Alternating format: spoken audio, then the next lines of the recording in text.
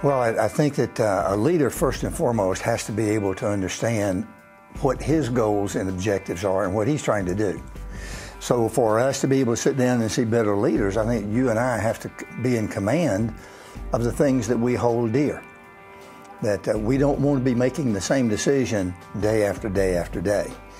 I think the ability to sit down as a parent and know that uh, as a man that there are certain rules and regulations that I have to abide by as the head of my house and as God's head of my house to to bring out the very best in everyone in my family and that's one of my major responsibilities. Well, understand it first, it's, it's a hard work. That's a hard job. Marriage is the most difficult job I've ever had because it never stops. But even while that, that job is going on, I'm still being married 24 7 and trying to make sure that I'm sensitive to and meet the needs of my wife. I think the biggest challenge for men today is prioritizing what they believe in. To be able to sit down and say, these are the five or six things, or these are the three things, or this is the one thing that I believe in. So let's make sure that you, you are doing all the things that are necessary so you can become the best you can be.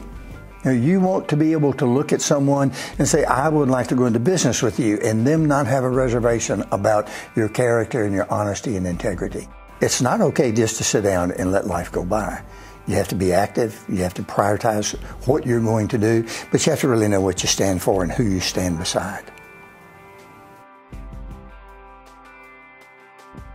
advice to uh, dads about disciplining sons is, is a difficult task.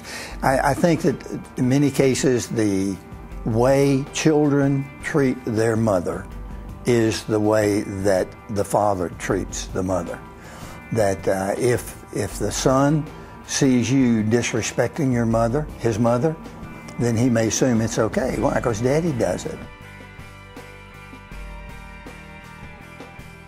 Before you can lead, you have to know what your principles are. And you can't lead somebody where you haven't been. There's no place in life for bullying. Don't you start a fight. But there's some things worth fighting for. So don't you run from one. So we want to have six balls in the air and say, look at me, I've got all these things twirling. Good. How important is that one? Well, not very. And get rid of it. How about that one? Pretty soon you can probably get rid of the seven or eight of the eight or ten you got up there. And when you get life basic, simple, you don't have to make the same decision but once. It takes two to raise a family, uh, and at least two. Uh, for dads to fill the role of importance, they have to have their priorities straight. Again, I go back to that over and over and over. If you, as a dad, want to have the positive impact on your children and on your family, they have to understand where you stand. They have to understand by the vocabulary you use.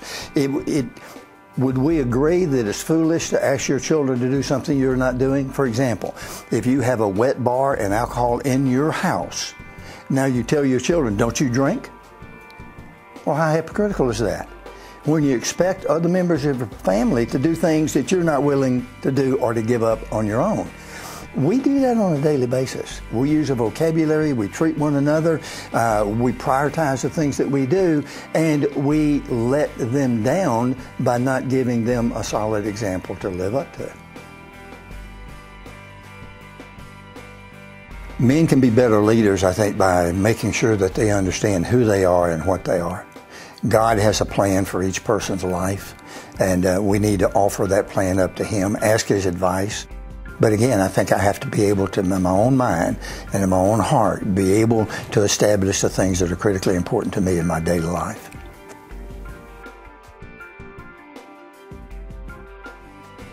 The best way to help marriages to survive, from my perspective, is to listen I think the ability to sit down and be patient, uh, to leave our children a legacy of patience and of love, uh, you know, that's the same legacy that Christ left for us. I think the, the, biggest challenge for men today is the one that I, I faced and I've seen a lot of my friends face. And then it's really refining what you believe, you know, who you are. What kind of man do you really want to be? Uh, to, to, keep uh, the balance of life and family and hobbies, work together is, is one of the most difficult tasks a man has. We can never control all the circumstances in which we find ourselves. Never. But we must be able to co- control ourselves in the midst of each one of those circumstances. We must be able to do that. Only then can we make sure we're having the impact that God's called us to.